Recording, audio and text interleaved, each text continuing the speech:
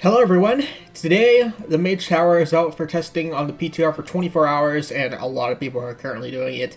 Uh, I'm going to be trying out Guardian Druid, and I remember doing this uh, during Legion, and it was... it made me rage so hard.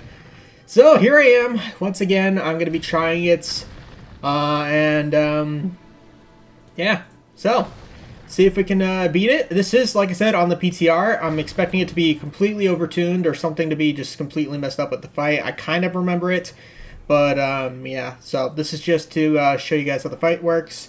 Uh, I do plan on doing a video on it when live comes out as well. Um, and uh, yeah, I don't want to keep you guys too uh, too or too much waiting. So. This is going to be the build I'm running. I kind of debating about going balance affinity, but I'm going to stick with the restoration affinity. So, um, yeah, without further ado, let's go ahead and get this started. Okay, so, um, I've done this two attempts now, and, uh, just to kind of get a feel of the fight. And I don't know if this is going to be beatable. I'm going to try, but I'm basically just going to use this video to kind of explain how the fight works.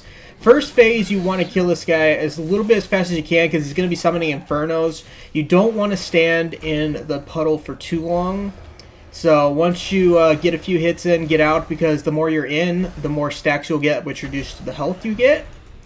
Uh, you also want to interrupt drain life, obviously, immediately. Eventually, uh, throughout the entire fight, these ads will spawn. You just want to AoE them down quickly, and if you don't want them to cast Nether Storm. Um, during the first phase as well, these eyes will appear, and uh, you want to kill those pretty much uh, instantly. Uh, just They can't be meleeed, so, just as a quick disclaimer, um, you have to moonfire them. Interrupt drain life immediately. Yeah, you pretty much just want to get in there, uh, get your hits in, etc. Quickly moonfire that out of that.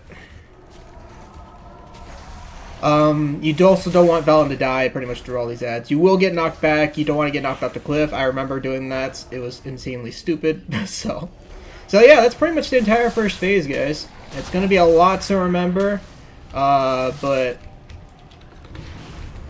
quickly interrupt that. See, there, there's so much going on. It's so hard for me to keep track. My eyesight is not the greatest, as any of you guys have been around my channel know. But uh, I'm trying my best, and hopefully you guys understand Phase 1. I will kind of quickly go over it after the fight, but if you're anything like me, maybe seeing is kind of like better for you. That way you'll like kind of like a visual person, you know what I mean? Dodge smash. The orbs will heal you in Velen, so try to save that if you really, really need it. Because I definitely can tell you guys for sure, Phase 2, you will definitely need it.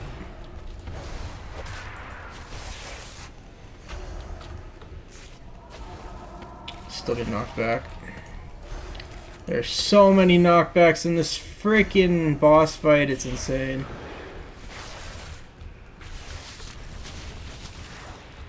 I'm gonna quickly kill him real quick.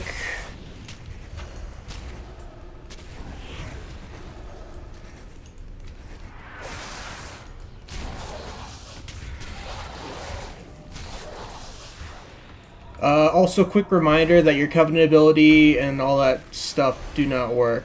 So, just as a quick disclaimer.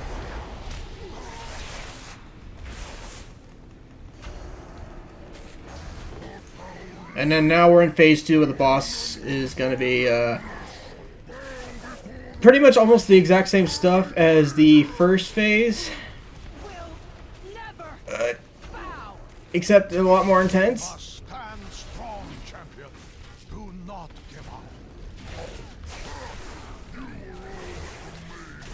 His Annihilate will hit a lot harder, so try to save your defenses for when he uses Annihilate. Unfortunately, my stupid self did not do that. So, just be warned of that.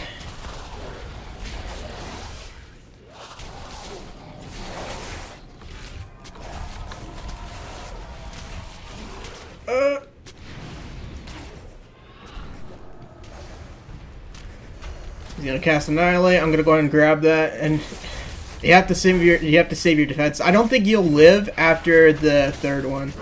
It's just it's too much.